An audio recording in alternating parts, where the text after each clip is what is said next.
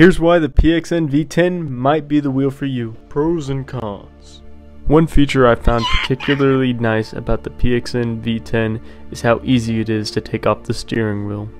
Another great feature in the wheel is its automatic recalibration. You just have to plug it in and it will automatically start recalibrating itself. The paddle shifters on the wheel are a cool and nice feature to have. They don't always work though, and sometimes you have to really hit them in order to shift the car. This is both a pro and con in my opinion, but it's still nice to have. Another nice feature about the PXN V10 is how easily adjustable these pedals are. If you just look at the bottom, you can screw these either way, making them tighter or looser. The pedals also feature these nice rubber stoppers that allow you to shift as hard as you want to and slam them pedals.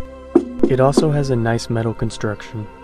The PXN V10, despite many other companies not adding a shifter, added a 6-speed gated shifter with a reverse gear, a parking brake, and a high-low for anyone wanting to play a truck simulator sort of game, or just wanting more gears. I haven't ever explored with it, but it is a feature. One con of the wheel is how small it is and also the weird ridge at the bottom makes it very hard to drift. The wheel also gets uncalibrated easily. Finally, as mentioned before, the wheel's paddle shifters don't always shift very good.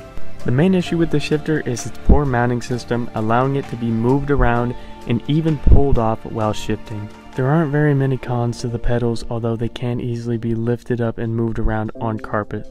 What is going on everyone? I am Jodak White. I've been sim driving slash drifting for around 8 to 9 months now and I found it pretty fun in Forza, CarX, Assetto Corsa, F1 and plenty of other games. It is a great entry wheel and if you just stick to it you can get pretty good and have a lot of fun with it. Using a 5mm Allen key, you can take out the Allen screws on the side of the wheels and raise or lower them.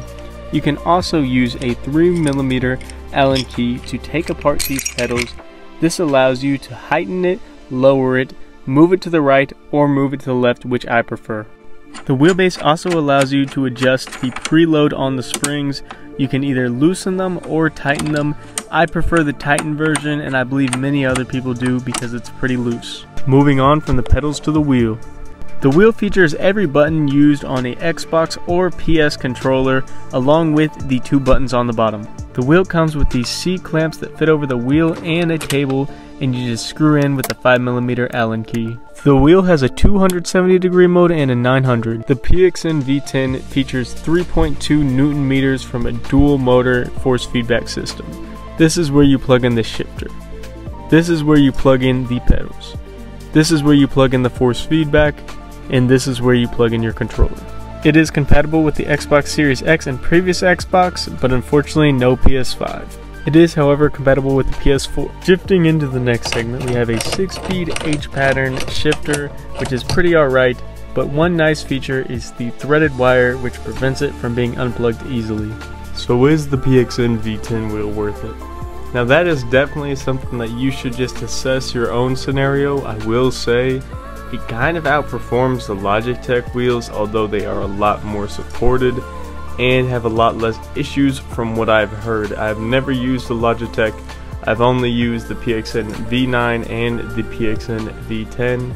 I'm not sponsored by PXN. The original PXN V9 I got was a Christmas gift, and this one I bought for $280 with my own money that I worked for. And honestly, I am here to say that the PXN V10 I don't think is as bad as people say it is. I watched a lot of reviews of these higher up um, sim YouTubers. From what I heard, it did not seem as bad as they made it out to be. Everyone was always talking about that you should just get the Logitech, but I've had no issues with this wheel as an entry or beginner. Like I said previously, I've only been doing this for eight, nine months around there. So I'm pretty new to it, and it's been fine for me. It's been I mean, it's had its hiccups every now and then, like the cons basically that I mentioned before. But other than that, this wheel's been pretty solid. I definitely would recommend it. And I would say if you're in a better financial situation, get a Thrustmaster T300 if you're on PlayStation rather or PC. And if you are on Xbox and you have a little bit extra cash, definitely check out the Fanatec or Moses steering wheels. And yeah, I mean, it is a great entry wheel. I definitely would recommend it. Like I said, I'm not sponsored. They did not send this to me. I had to buy it myself. And I truly do enjoy this wheel. Like, I play with it nearly every single day, and it's been a trooper for me.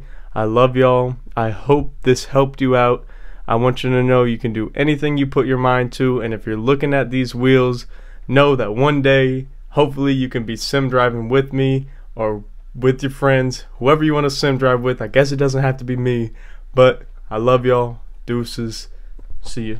I'm Plankton, you old hag!